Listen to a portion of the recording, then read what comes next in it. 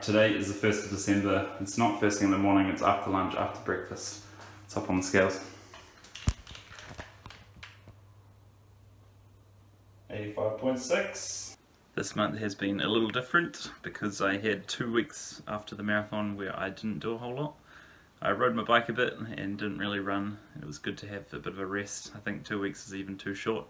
Next time after a hard marathon I'm going to give it three of just going easy and keeping the body moving. But yeah, it's been good getting back into it. I don't feel uh, bad at all. Done two weeks, two decent weeks running, 90 and 100 just gone. So yeah, looking good. The body doesn't feel bad in any way, which is cool. So didn't really jump the gun too quick, I don't think, which is exciting. This week, the week I'm filming, is going to be a reduced volume week, and I'm just going to keep building it out towards 160 odd try and squeeze a week's worth into one day. So training's been going good. I haven't been doing as much speed work and intensity, but that's to be expected going into an ultra and yeah, going to be focusing a bit more on kind of endurance plus quite a bit of elevation getting the hills in because I know that there's plenty on the miler course. So training is all good.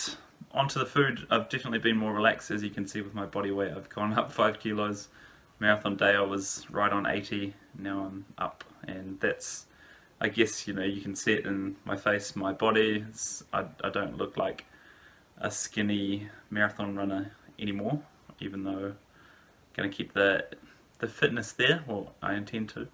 And yeah just going to keep the body weight steady. Uh, but the things that have changed obviously eating some salt and some saltier meals going out here and there and just yeah being a little less strict uh, less raw days also only had four in the month gone so that's been reduced a little bit just because it's a busy time of year and trying to organize the fruit and have everything ready and stuff. Um, obviously I've, you know I've just been less strict so I'm not really making excuses it's just the change in circumstances.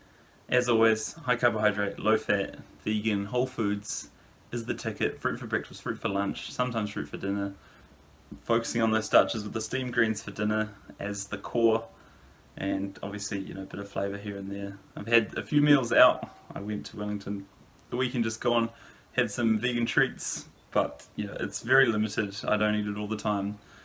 There's a reason I don't eat it all the time and yeah just eat that good food most of the time and occasionally have something if you feel like you want it. That is my update. Everything's going good, training good, body good, food always good.